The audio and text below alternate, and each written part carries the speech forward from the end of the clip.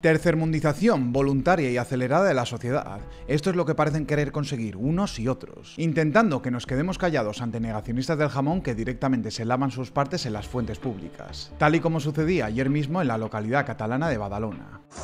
Ay, vamos, un vídeo, un vídeo, un vídeo. Un vídeo, tía.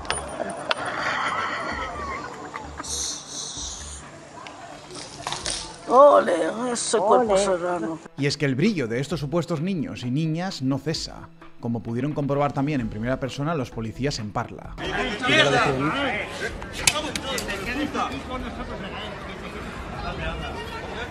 Cosas de la nueva normalidad de la que por supuestísimo entran batallas campales. Pero tranquilos, porque esto no preocupa a la sexta, donde ahora nos salen con estas. El problema de la migración en este país no son los inmigrantes, son los racistas.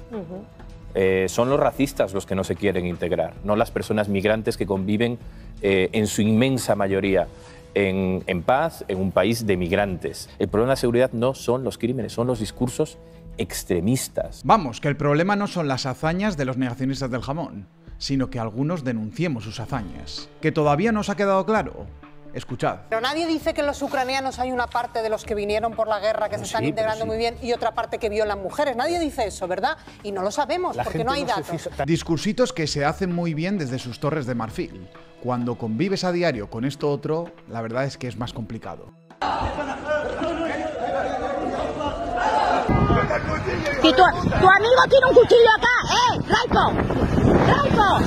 Desde luego se puede decir que como sigamos así vamos a ser toda una potencia mundial en cuchillos y machetes. Más aún después de conocer las noticias que llegan desde la comunidad autónoma vasca, concretamente desde la provincia de Álava. La Erchancha deja de arrestar en Álava a quienes amenazan con un arma blanca al ser un delito leve.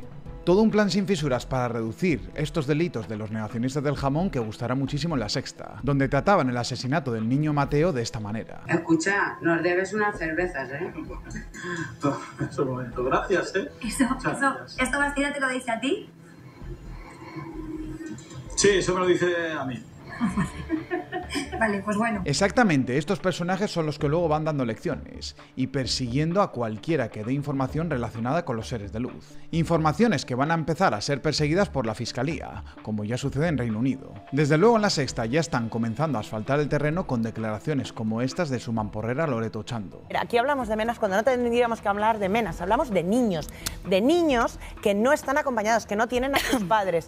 Aquí no se puede permitir que cualquiera diga lo que le da la gana, ya está bien. Aunque no os lo creáis, este tipo de personajes son los que ponían el grito en el cielo ante la ley Mordaza, que ahora nos quieren imponer a los demás, para que no alcemos la voz ante manipulaciones grotescas como esta de Telecinco. Los más jóvenes con tan solo un año y que quizás empiecen a ponerse de moda a partir de ahora son Aizal y Muhammad. Surrealista más no poder como este tuit de televisión espantosa. El truco para evitar robos en las playas es vigilar tus objetos de valor. El truco está en no quitarle nunca el ojo de encima a nuestros objetos de valor. El truco más bien está en defender nuestras fronteras y en no dejar pasar a todo Kiski, como pide Vox y como también pide el experto en inmigración Rubén Pulido. La cuestión es que desde el año 2020 vengo recibiendo este tipo de amenazas vía SMS eh, a mi número de teléfono personal, donde se me dice que saben dónde vivo, que relaje el tono, que deje de verter opiniones acerca de, de la inmigración si no voy a tener problemas, eh, que están encima de mí, me llaman por mi nombre, por mi apellido, van dirigidas a mí. Y las últimas las he recibido hoy mismo. ¿Moverá la Fiscalía un solo dedo por estas amenazas?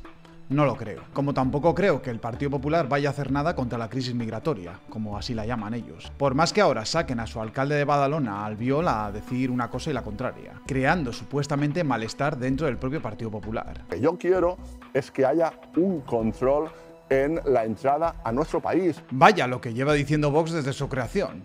Pero claro, el problema es que el mensaje del Partido Popular difiere de un territorio a otro, al punto de que el gobierno de la Comunidad Valenciana, ya en solitario del Partido Popular, dice ahora que jamás cobrará a organizaciones mafiosas como Open Arms. Lo de siempre con el Partido Azul, la estafa constante, que gracias a su pacto con el Partido Socialista para repartir supuestos menas por toda España, nos están brindando imágenes como estas.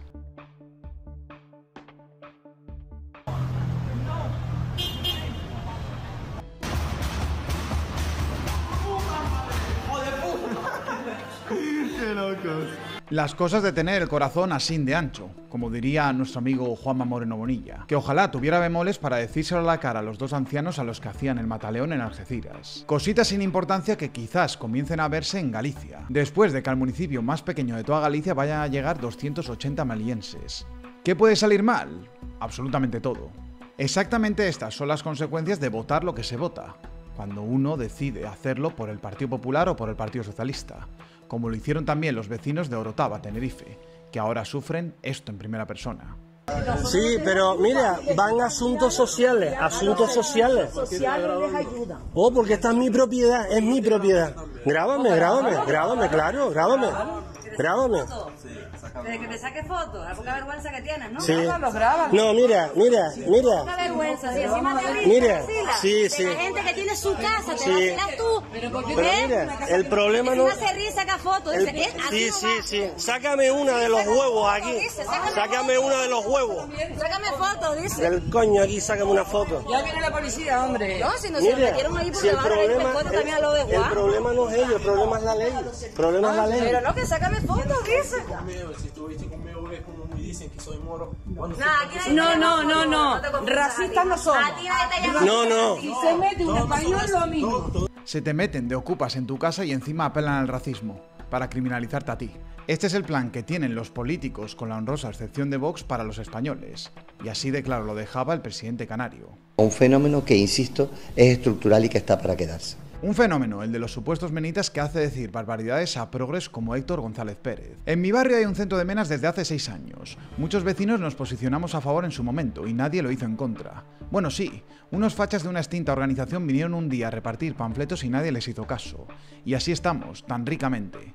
Tan ricamente mientras a ti personalmente no te afecte nada de lo que está sucediendo en tu ciudad, Gijón, donde, oh casualidad, se han disparado los delitos. Estos progres, que son auténticos masocas, no atan cabos ni viendo lo que sucede en sus propias ciudades, como para hacerlo viendo lo que sucede en Suecia, donde ya hay policías que dimiten y dejan la profesión tras haber sido amenazados por el crimen organizado de bandas inmigrantes, reconociendo además que han perdido el control. Bueno, a falta de policías siempre nos quedarán las brigadas antijovelandeses que desplegaban en las piscinas alemanas. Zwei Wildis. Guten Morgen. Hallo. Schön euch.